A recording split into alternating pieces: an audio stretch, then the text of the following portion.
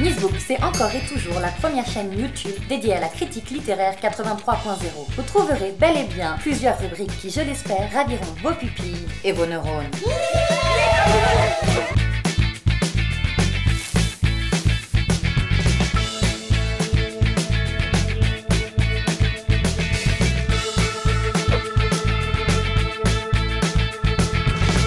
Tu vas avoir le book, Coco.